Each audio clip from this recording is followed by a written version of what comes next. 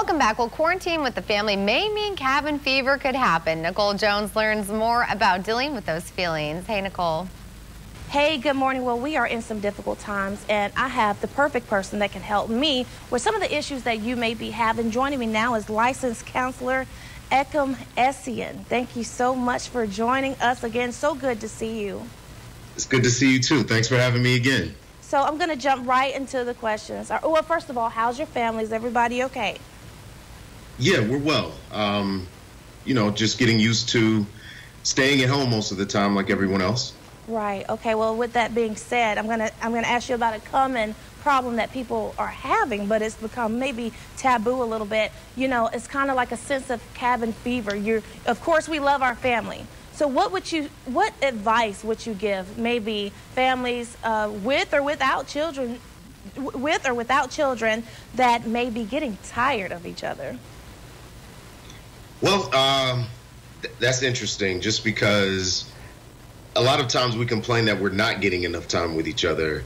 And then we experience something like this pandemic. And of course, you know, people are experiencing fear and anxiety, loss, even depression. But um, you have a lot more time to spend with your families, uh, your loved ones. And I imagine that, you know, initially this seems like a great thing. You know, finally I get the time to spend with my kids, spend with my wife or my husband or whomever. And then for some, or over time, it just becomes dreadful. So, um, you know, you get increased stress. You're playing the daycare, you're the teacher, you're the playmate, companion, lover, you know, so on and so forth, and um, other roles. And so now people begin to be stressed, and you kind of miss that time that you were sitting in traffic, the commute to work, um, that we complain about most of the time. Um, so, with a lot of my clients, what I've been seeing is almost an exacerbation of some of these problems. So, children are getting anxious, they're getting, you know, restless, and there's increased arguments in the home.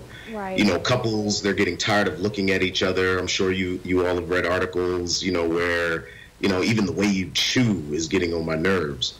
And so that initial time that we're spending together is almost a bad thing now, you know, in some instances. You know, and in I, some cases, I'm going to interrupt you. I, uh-huh. I don't mean to interrupt you, but, you know, it seemed like it can be a good thing or a bad thing. Either, you know, you're going to hate each other, or, you know, I was thinking it would be a baby boom, simply.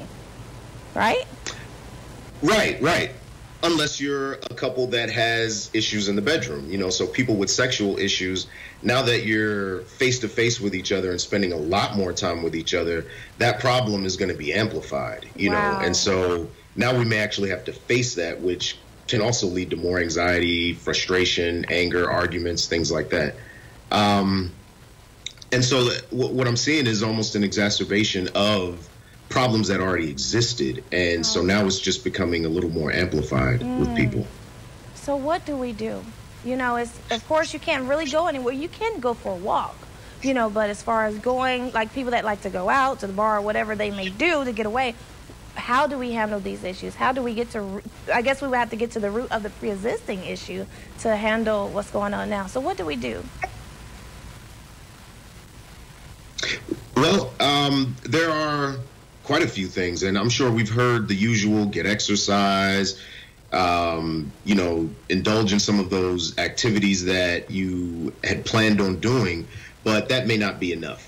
And so sometimes maybe even just finding a, a even if it's a small space, just to be alone, gather your thoughts, and really take a moment uh, throughout the day, schedule it even to take time with yourself and process through your emotions, understand why you're feeling the way you're feeling, what's leading to that.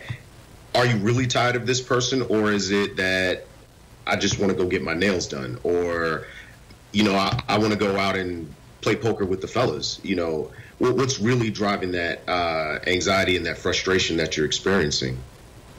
Well, thank you so much. We're running out of time. I hate it that we're running out of time. I could have this conversation with you all day. Tell everyone where can we follow you.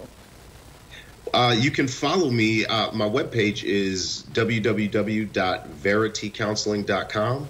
And I'm also on LinkedIn, e.essien, E S S I E N.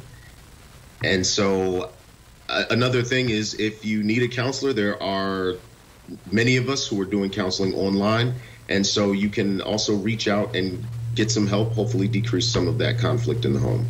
Perfect. Well, if you missed that information, we'll have it on our website and our Facebook page. Thank you so much for checking in with us. Anytime. Thanks for having me again.